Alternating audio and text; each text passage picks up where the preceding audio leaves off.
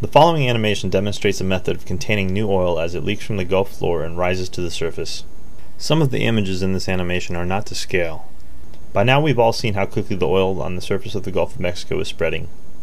The enormity is nearly overwhelming and it's becoming more difficult to manage by the hour. The slick on the surface is continually being fed new oil at an estimated rate of over 200,000 gallons per day. There is no certainty that the leak nearly a mile below the surface will be successfully stopped at its source in time to prevent certain catastrophe. It is impossible to stop the growth of the slick without first stopping or at least greatly reducing the new oil that continually adds to it. We cannot wait in hopes that the leak will be stopped. We must work to contain it at the surface. By wrapping the area where the oil is emerging on the surface with a ring of floating boom, we can expect to contain a portion of the new oil as it emerges. Using several of the largest skimmers, much of this oil can be collected at the site before it has a chance to escape the perimeter of floating boom. However, much of the oil will likely escape the first perimeter. A secondary ring will serve as backup to the innermost ring and capture another portion of the oil as it attempts to spread.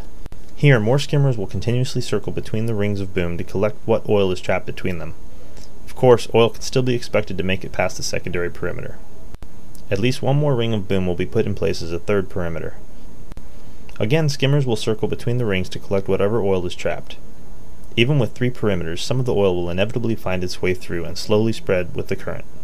Skimmers will patrol outside the third perimeter and downcurrent of the spill in an attempt to collect oil that spills past the outer booms. It is likely that some of the oil will be missed by the patrol of skimmers outside the last perimeter. Oil that is missed by the skimmers will be closely monitored by surveillance aircraft, and standby units of skimmers will be dispatched to collect what oil they can as it moves away from the source. As missed oil approaches the shorelines of the Gulf states, three lines of defense will be implemented near the coast. Boom placed near the shoreline will act to stop much of the thicker oil from making it to shore this boom should be anchored and maintained at a distance from shore that is well past the breaking waves. Local volunteer vessels can be used to help maintain the integrity and positioning of the boom. Skimmers will routinely collect oil as it gathers along the booms to prevent it from building up. The less oil along the walls of the booms, the more effective they will be at protecting the shorelines. Finally, smaller, more nimble vessels inside the perimeter of the coastal booms will patrol the coastlines, attempting to catch the small amounts of oil that do manage to breach the perimeter.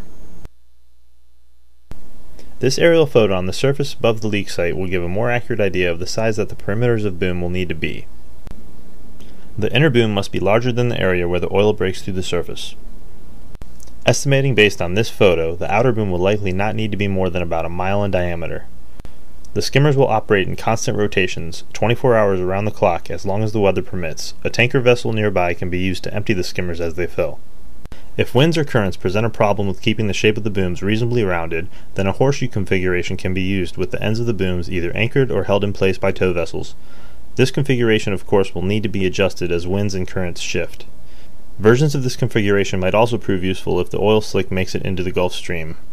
The cleanup and prevention of damage from this spill should be a well organized and well communicated effort. Volunteers should be utilized to consistently keep boom in place, especially along the coastlines, and any failures in the integrity of the boom should be dealt with immediately. Thank you for taking the time to watch this demonstration.